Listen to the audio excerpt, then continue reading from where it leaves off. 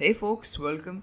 In one of my previous videos, a subscriber had asked a question whether I could make a video on creating and deleting drop-down list in Google Sheets. So here we are. In this video, I'm going to be showing you how to create and delete drop-down list in Google Sheets. The first step in this video is going to be looking at the data followed by creating the drop-down, then checking some extra features that are available, then copying the drop-down to other cells and in the end, deleting the drop-down. So let's get started. I'm going to go to my data. This is the data that I have here. Here I have some colors red, blue, green, pink, black. So I want to create a drop down where the user can select his favorite color because it's easier so that the user doesn't have to go in and type red as his favorite color. Now, the first step is going to be selecting the target cell. That is a cell where you want to put in the drop down list. I'm going to click on that and I'm going to go to data. I'm going to click on data validation and here the cell range that we have specified is data C2 and the criteria that is going to be list from a range. So the range we're going to be specifying is going to be a1 to a5 if you want to from a list of items you'll have to manually add them using separated by commas. Or if you want you can add numbers text date and more. So for now i'm going to be do, selecting the list from a range and i'm going to be specifying the range a1 to a5 after you have specified your range just click on ok and the range will get added the next thing is going to be show drop down list. So this checkbox always has to be ticked since that's what the video is about.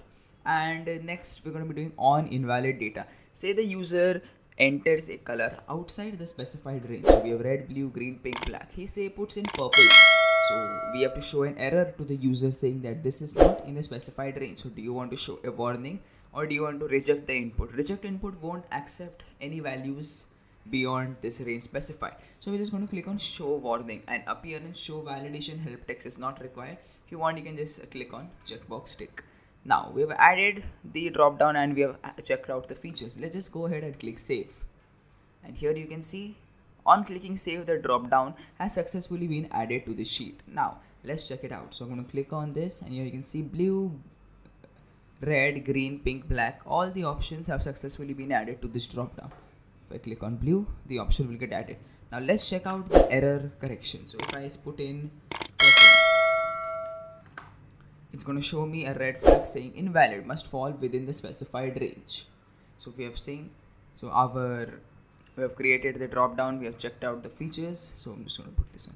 Now the next step is going to be copying the drop down to other cells in the Google Sheet.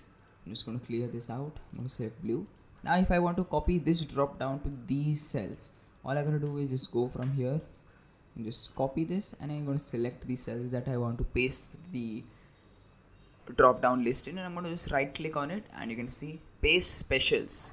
You can scroll down and you to click on paste validation only. Now you can see the drop down has been added to all the cells that we had specified. If I click here it's red. If I click here blue green black. So our drop down has been copied to all the cells. Now, the last part of this video is going to be deleting the drop down from the Google Sheet cell. Say I want to delete this drop down. So you need to click on the specified drop down that you want to delete. Then go to data, click on data validation and click on remove validation. So the drop down will, will be removed. So this is all for this video. I hope you understood how to add and delete drop down list in Google Sheets or if you have any doubt such as my subscriber that had put in i'll be leaving a google form link in the description. You can put in your doubts and i will try my level best to create more videos on that. If you like this video then don't forget to like share and for more content hit the subscribe button. I'll see you in the next one